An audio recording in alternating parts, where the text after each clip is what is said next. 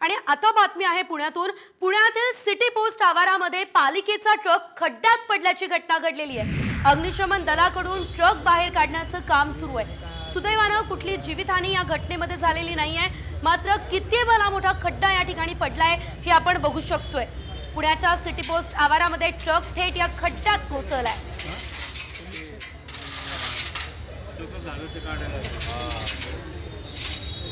अधिकची अपडेट घेऊयात. आमचे प्रतिनिधी सागर आव्हाड यांच्याकडून.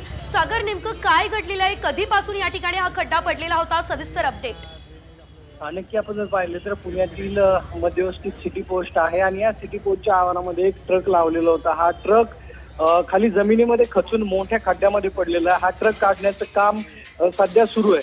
मात्र हा खड्डा कशामुळे पडला हे अजून समजू शकलेलं नाही. त्याच परिसरामध्ये मेट्रोचं काम जे आहे ती सुरू आहे. त्यामुळे हा खड्डा बहुतेक जमीन भुसभुशीत जी आहे ती मेट्रोमुळे झाली असावी असा अंदाज व्यक्त केला जातोय. मात्र ट्रक काढल्यानंतर समजेल की नेमका हा खड्डा पडण्यामागचं कारण धन्यवाद दिलेल्या या सर्व सविस्तर अपडेटसाठी